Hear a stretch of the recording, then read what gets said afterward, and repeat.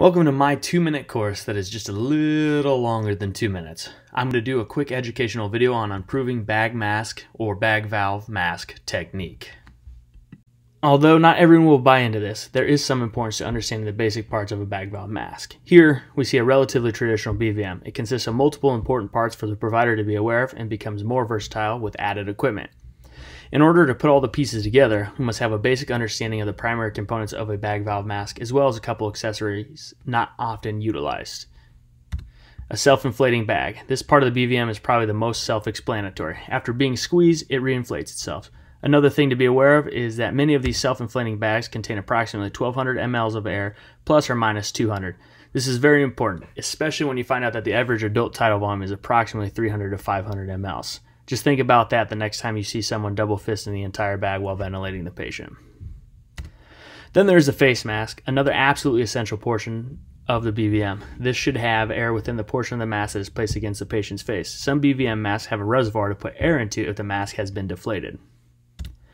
A pop-off valve is another component of a BVM, but is not found on all models. A pop-off valve is more often found in pediatric and neonate variations of the device. A pop-off valve, often referred to as a pressure relief valve, serves the purpose of preventing overpressurization of the lungs.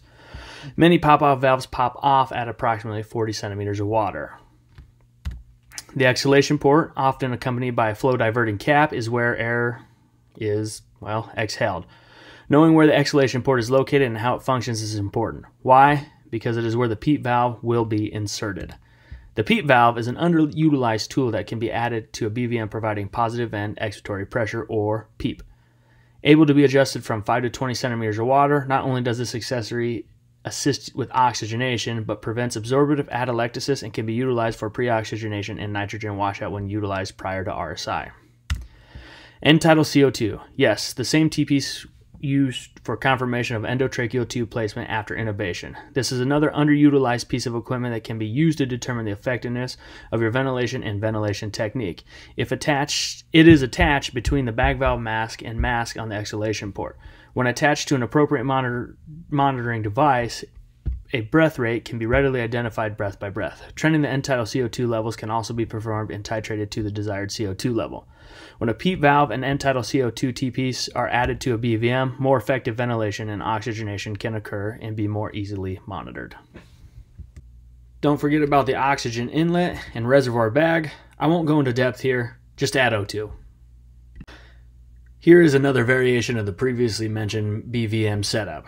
Note, this variation of the device lacks a pop-off valve but has a pressure monitor in place of it. A pressure monitor is valuable and can assist the provider in delivering the breath to maintain appropriate breaths within the normal pressure range. According to many sources, there is this thing called a gastric sphincter opening pressure. This is a pressure at which the gastric sphincter, leading to the stomach, opens and air is pushed into the stomach, increasing the risk of aspiration. This opening pressure is approximately 20 to 25 centimeters of water.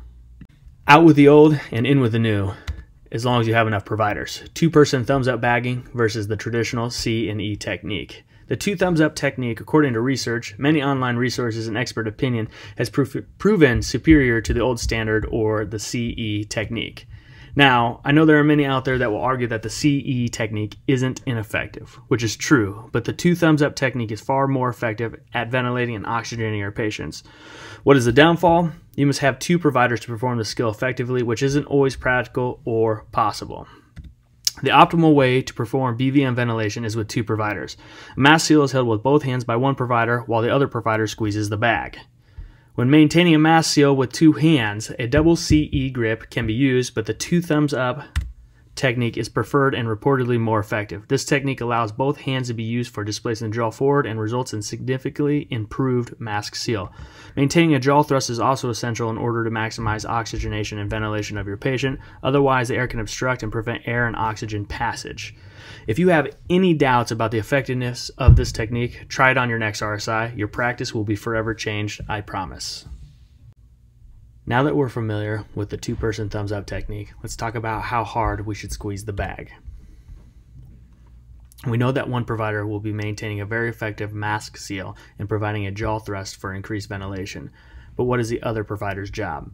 I spoke earlier about the approximate volume contained within a BVM and how it's oftentimes more than double the needed tidal volume for an adult patient. What this means is that we don't need to squeeze the entire bag. In fact, we honestly don't need to be utilizing two hands. One hand is plenty sufficient. The bag should be squeezed just enough to cause visual chest rise and fall, as well as producing end-tidal CO2 waveform return. Be mindful of how fast and hard the bag is squeezed, and if a pressure monitor is present, attempts to not exceed the gastric sphincter opening pressure should be made. Are we done yet? Well, no. Hopefully, I've been slightly enlightening and have given you some good insight on how to, in the future, more effectively ventilate your patients. But I have just a few more things to add, and I'll be quick. The two thumbs up technique in most scenarios should be more than sufficient to ventilate and oxygenate our patients effectively. However, patients with large tongues and, how do I say this, floppy airway tissues may need more than just the standard two thumbs up technique. Adding airway adjuncts such as the OPA and NPA, and yes, I do mean adding both, can increase the effectiveness in ventilation being delivered. And the last thing I have for you is just this fun fact 50% of volume is lost when laying the patient flat. To effectively recruit alveoli and ventilate appropriately, a heads up position should be utilized.